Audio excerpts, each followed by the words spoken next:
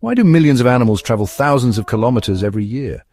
Let's uncover the secrets behind the longest migrations in the animal kingdom. Migration isn't just about birds flying south for the winter. Some creatures embark on truly epic journeys that challenge the limits of endurance and navigation. First up, we have the swallow. These incredible birds travel from Europe and Asia all the way to Africa. They cover up to 10,000 kilometers each year in search of warmer weather. Next, the Arctic tern holds the record for the longest migration of any animal. This bird flies an astounding 40,000 kilometers from the Arctic to the Antarctic every single year. The sperm whale migrates across vast oceanic distances, traveling between tropical breeding grounds and nutrient-rich polar waters to feed. Sea turtles, some of the oldest travelers of the oceans, make long annual migrations that can cover up to 20,000 kilometers, crossing vast stretches of ocean to reach feeding grounds. And then there's the salmon.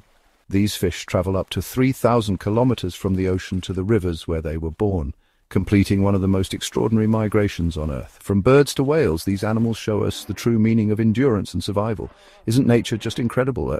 Hit like, subscribe, and join us as we continue to explore the wonders of the animal kingdom. See you next time.